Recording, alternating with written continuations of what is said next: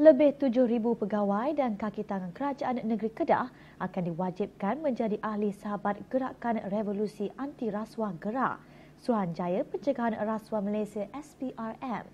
Menteri Besar Kedah, Datuk Seri Ahmad Bashar Mat Hanifah berkata beliau tidak akan berkompromi jika ada pegawai negeri itu terlibat dengan rasuah dan salah guna kuasa. Kepimpinan kerajaan negeri akan memberi komitmen dan sokongan kepada SPRM dalam melaksanakan tugas dan tanggungjawab memerangi jenayah rasuah dan salah guna kuasa.